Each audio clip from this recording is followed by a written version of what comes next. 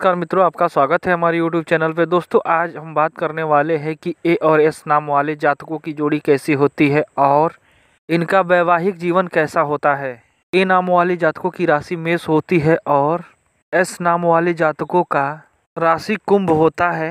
दोस्तों, ए नाम वाले जातक बहुत ही आत्मनिर्भर होते हैं और खुद पर बहुत ज़्यादा भरोसा रखने वाले होते हैं।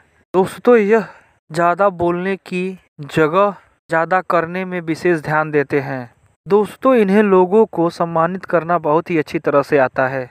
लेकिन इनके व्यक्तित्व को यदि कोई ठेस पहुंचाता है तो यह उन्हें बिल्कुल ही माफ़ नहीं करते। दोस्तों, प्रेम के प्रति इनका रुझान बहुत ही ज़्यादा होता है। यह प्यार के मामले में बहुत ही ज़्यादा कुशल होते हैं। यदि हम एस नाम वालों के बारे में जाने तो के विचार के बारे में जाने तो यह बहुत ही सकारात्मक स्वभाव के होते हैं। दोस्तों, यह किसी भी कार्यों को बहुत सोच समझ के करते हैं और इनका मन पूजा पाठ में बहुत ही ज़्यादा होता है। दोस्तों, यह प्रेम और व्यवहार के मामले में एक नंबर पर होते हैं।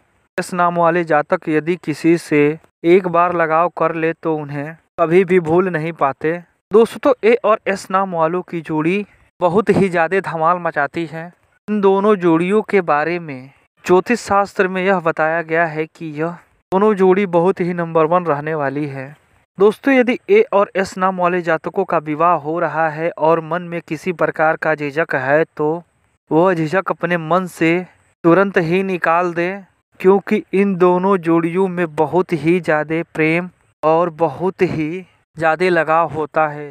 यह दोनों जातक एक दूसरे के लिए बहुत ही परफेक्ट बैठते हैं। यदि आप इन जातकों से शादी करना चाहते हैं तो अपने मन में किसी प्रकार का संकोच मत रखिए और तुरंत ही हाँ कर दीजिए। ए और एस नाम वाले जातकों का वैवाहिक जीवन खुशहालियों से भरने वाला है और यह दोनों जोड़ी एक दूसरे के लिए बहुत लक्की साबित होने वाली है।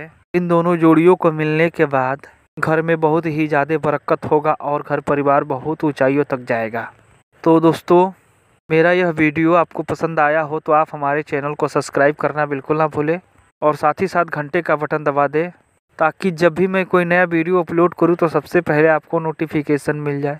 और दोस्तों, इसी के साथ साथ आप हमारे वीडियो को लाइक करना शेयर करना और कमेंट बॉक्स में अपना राय भेजना बिल्कुल ना भूलें। नमस्कार मित्रों, धन्यवाद।